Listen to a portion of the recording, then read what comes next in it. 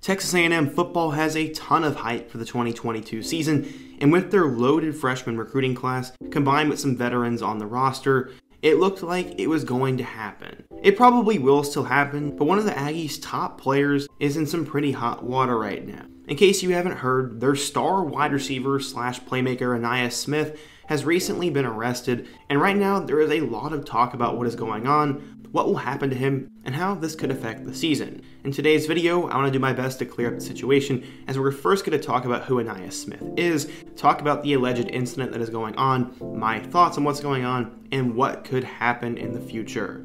So without further ado, let's go ahead and get started and talk about Ainias Smith.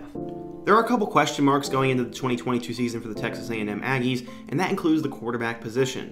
LSU transfer Max Johnson is probably going to be the starter, but you cannot count out Haynes King, who started the first game and a half of last year before he suffered a injury that held him out for the remainder of the season. It's going to come down to those two, but overall, having a good running game and two speedy stars in the backfield were really going to help the Aggies transition. Those two guys were De'Von Achane and Ainias Smith.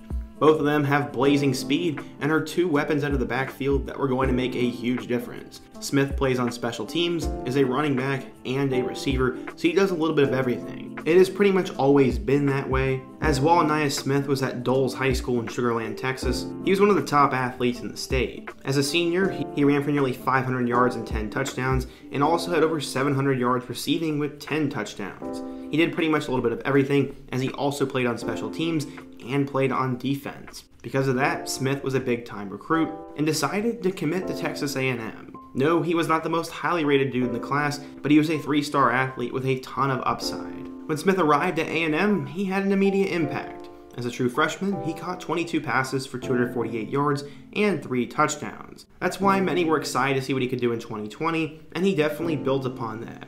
He finished with 43 catches for a career high 564 yards and 6 touchdowns.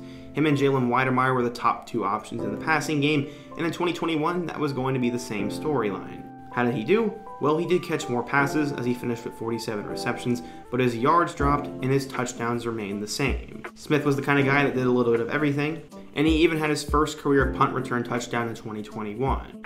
Going into the 2022 season, De'Von Achane has gotten a ton of hype for the NFL draft, but Jimbo Fisher came out and said that Ainias Smith's stock was going to explode. I have to agree with him, and with all the talent on the roster, it looked like Smith was finally going to be one of the main guys, and his NFL stock was going to go through the ceiling.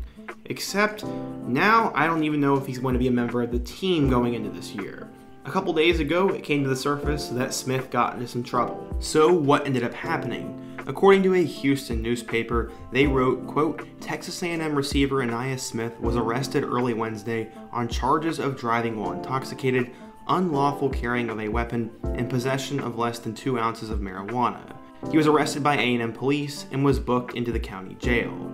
He posted an $8,000 bond and was released later Wednesday according to the jail's reports. From there, it looked like he had been suspended from the football team and that Jimbo Fisher was made aware of the situation. It's interesting timing because Smith was supposed to be at SEC Media Days, but obviously he was not, and Jimbo Fisher said there was no comment on the situation.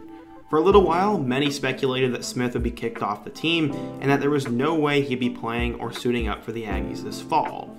Except today we got an update. This is Friday, July 22nd, so if you're watching this at a later time, I just got this news today. Thankfully, I have a good friend by the name of Andrew who lives and breathes Aggie football, so he let me know about this earlier today as he sent me a couple of tweets about the situation, and it looks like there's a chance that Smith could play and that some of these charges could be dropped. For example, let's take a look at Carl Dukes on Twitter. Apparently, he has a show on CBS Sports Radio, so I feel like he's somewhat credible in this situation. He said, quote, I was told by sources close to the case that are indicating that all charges will be dismissed. Smith was not intoxicated, and the passenger has claimed ownership of the marijuana. Now let's talk about what Mark Berman said. He's a sports director at a local television station, and according to his tweet, he said that the attorney for Ainias Smith claims that his client is a innocent man. I'll go ahead and put the tweet up so you can read it yourself, but basically, it is saying what we are hearing is that he was not intoxicated and that the other person in the car was in possession of the marijuana. let's say that both of those charges are dropped. That means this whole situation is not a very big deal for Ainias. He'll likely be reinstated, and he'll get to play football come fall Saturdays. That's what I think the most likely scenario is going to be, and I really do hope the best for Ainias. I'm glad that no one was really hurt in the situation, and hopefully all the details come out soon. If you're a Texas A&M fan though, let me know what you think. What do you think is going to happen in this situation? If Ainias Smith does end up getting kicked off the team or suspended, who will step up for the Aggies? And how do you guys think the Aggies will do in 2022? Be sure to let me know down below. Let me know another topic or subject I could do in my next video. Hit that like button if you want to support today's video, subscribe if you're new, and check out all my other videos on the end screen, including my video about what happened to Jalen Wydermyer. Hope to see you guys again soon, but until next time, peace.